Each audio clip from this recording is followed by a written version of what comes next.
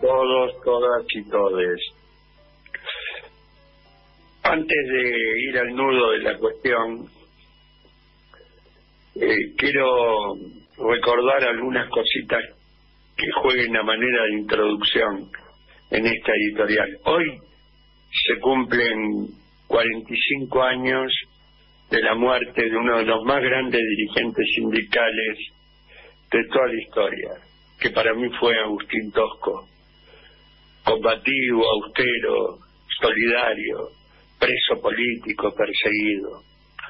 Muere en la clandestinidad, muere de encefalitis.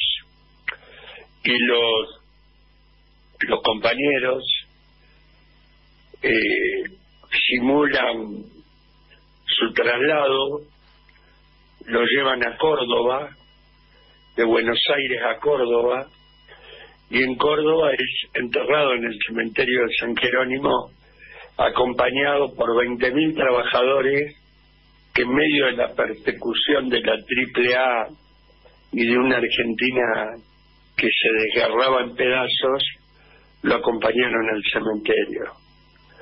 Esta noticia no te la va a dar ningún medio. Yo quiero a 45 años de la muerte de Agustín Tosco ponerlo arriba de la mesa. No voy a hablar mucho de la elección norteamericana, para eso se, se ocupa toda la prensa hegemónica.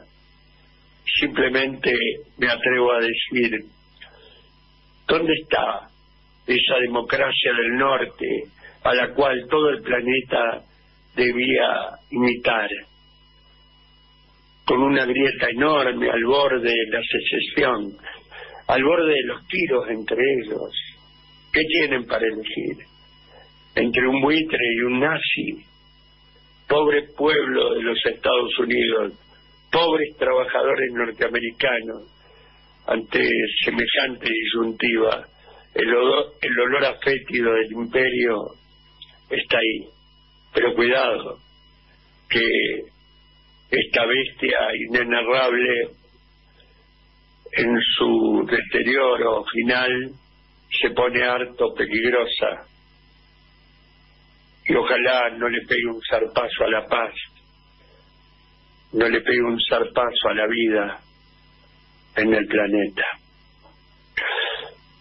Hoy, hace 15 años que enfrentábamos a los Estados Unidos de América diciéndole no al ALCA. Hace 15 años, un 17 de octubre, Néstor Kirchner me llamaba y me decía, te tenés que ir a La Habana. ¿Para qué, Néstor? Te tenés que ir a La Habana. Al otro día fui a la Embajada de Cuba, me dieron la visa, me dieron el, el pasaje y 24 horas después estaba en la capital de Cuba. Estaba en la cola de migraciones, vinieron dos personas, me llevaron, me llevaron al barrio de residencia en Miramar y cuando estábamos en el barrio de Miramar descubrí la presencia de Ana Descalon, de Miguel Bonazo y, y de quién iba a ser, escuchen, no lo podía creer ni yo, quién iba a ser mi contraparte cubana a la hora de planificar y organizar la contracumbre de los pueblos. El diputado del Poder Popular, Silvio Rodríguez. ¿Cómo? Sí, Silvio Rodríguez. Laburamos con Silvio todo el día, analizamos la organización, la logística, la prensa, la publicidad, la convocatoria, el mosaico político, la dificultad de la inteligencia planeamos absolutamente todo. De esas reuniones salió ese afiche que inundó Buenos Aires que decía Stop Bush, Stop Bush. Fue maravilloso, cenamos, por supuesto hubo comida y canciones, no nos íbamos a perder esa maravillosa oportunidad y a las once de la noche, cuando creíamos que todo había terminado, alguien nos llevó al Consejo de Estado. Y en el Consejo de Estado eh, estábamos Miguel Bonazo, eh, Gustavo González Galeano, quien por entonces era embajador cubano en la Argentina, Silvio Rodríguez, ¿quién? Fidel Díaz. ¿Quién apareció? Fidel Castro, gritándole de 20 metros a Miguel Bonazo, ¡eh, Miguel! De Díaz parece cubano. Maravilloso.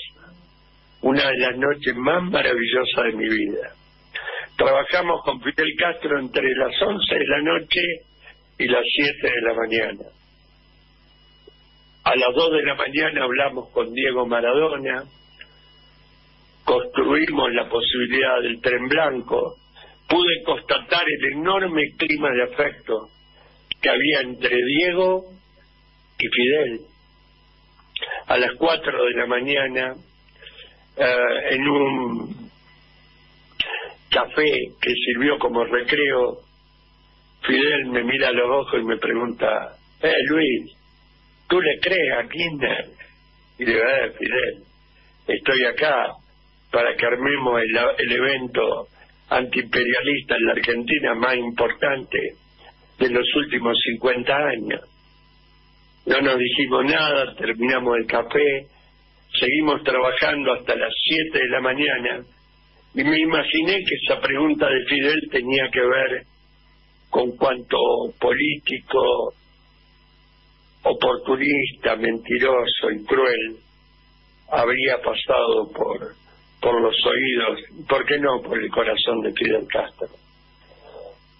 Me fui a descansar, a la tarde retomé el trabajo y a la noche Fidel Castro, como un buen eh, docente del conurbano, me mandó a buscar me sentó en una silla y me tomó lección exactamente todo lo que él quería. Me estuvo tomando lección y advirtiendo riesgos hasta las cuatro de la mañana. Repasó absolutamente toda la agenda que les mencioné y que ya habíamos trabajado con Silvio. A las cuatro de la mañana, como un colimba de otrora en la Argentina, me paré, le hice la veña y él me dijo, vos sabés bien quién soy yo, yo ahora sé bien quién eres tú. Tené en cuenta en los próximos 20 días que vamos a la batalla más importante contra el imperio en muchas décadas. Yo derramando muchas lágrimas, le di un abrazo al comandante y sentí que estaba comprometido hasta el último rincón de mi sangre con esa causa maravillosa que es y fue el no al alca. Volvimos con un avioncito de ocho plazas del comandante Hugo Chávez, Trabajamos duramente esos 15 días. La noche antes de la cumbre, Néstor me llamó por teléfono, intercambiamos un teléfono rojo, nos deseamos suerte mutuamente. Y al otro día, compañeros, pude ver como millones de ustedes lo vieron, esa imagen enorme de Néstor Kirchner, un presidente argentino diciéndole en la cara a George Bush, no pasarán, no pasará el último intento anexionista neocolonial en la América Latina. Nicanor Duarte Fruto de Paraguay, Ignacio, Luis Ignacio Lula da Silva, Néstor Kirchner, Hugo Chávez, Evo en las calles, Correa, transformándose en una esperanza en Ecuador, venía un tiempo distinto. Y le decíamos, no al ALCA. Los gringos iban derrotados y quedaba vacío el abrazo del oso que pensaban, pensaban darle a todo el continente latinoamericano. sentí un orgullo enorme por Néstor Kirchner. Por eso cuando el otro día pasaban lo que me sucedía en el momento exacto que me anunciaban la muerte de Néstor, un dolor inenarrable, porque claro, juntos, entre otras tantas cosas, habíamos escrito esa página gloriosa de la historia. A mí me mandaron a Cuba no porque era el mejor, no porque era el más bueno, sino porque muchos no querían bancar a Néstor Kirchner. Muchos que hoy me quieren dar clase de kirchnerismo. Es más, voy a ir más allá. Muchos que hoy son diputados nacionales del Frente de Todos o ocupan cargos relevantes. En esa época miraron para otro lado por eso el único dirigente sindical conocido argentino, porque sí había de otras nacionalidades, pero argentino, el único que estaba conmigo en el palco mayor era Edgardo de Petri, nada más. Al resto habían decidido esconderse abajo de la cama, porque no querían bancar esta propuesta en la que no creían y mucho menos querían mancar a Néstor Kirchner. Bueno, hoy somos todos kirchneristas, maravilloso, pero que solos estábamos en esa época. ¿Y cuánto hubo que remar en la Argentina? Dicen que en el kirchnerismo la coherencia y la consecuencia no garpan. Yo no creo en eso. A mí me garpan si cobra la patria si cobra el pueblo. Con eso me doy por bien pagado. Lo digo desde la cárcel. Y les dejo la última reflexión, escúchenla bien.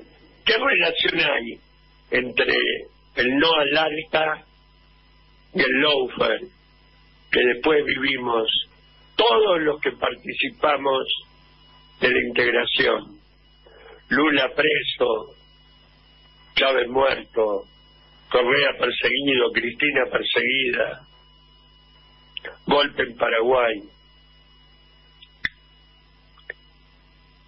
Laufer empezó a caminar en la cabeza de los norteamericanos a partir de esa humillante derrota del imperialismo norteamericano en Mar del Plata yo les, les hablo desde mi prisión domiciliaria, desde la que estoy hace dos años, dos años preso. Me cobraron caro el Laufer, con el Laufer, me cobraron caro la contracumbre de los pueblos y el haber sido uno de los responsables operativos. Levanto mi copa por todos los perseguidos, por los que ya no están, por Hugo Chávez y sobre todo por el gran Néstor Kirchner, compañero del alma, que siempre te llevaremos en el corazón. Trabajadores de América Latina decimos, Chanqui, go home. Abrazo grande, hasta mañana.